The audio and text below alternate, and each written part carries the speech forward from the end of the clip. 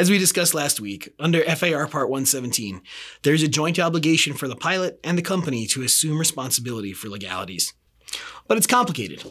Let's be honest, some people can't find their waka with both hands. Thankfully, there is an easy to use tool to help. On CWA, click on the Max Taxi Out Latest Wheels Up Times icon to display the report. This report highlights those limitations for you, both with and without an FDP extension, and also displays under at a glance values the flight time, FAR Part 117 flight duty period, and CBA duty time limitations.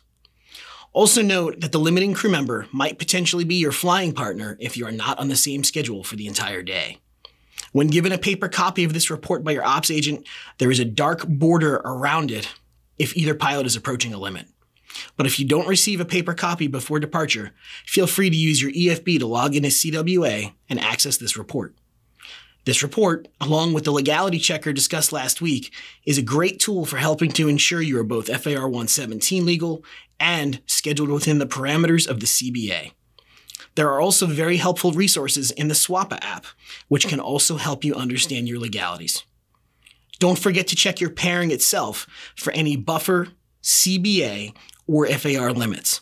And remember that for time critical questions, you can always call Contract Admin 24 7.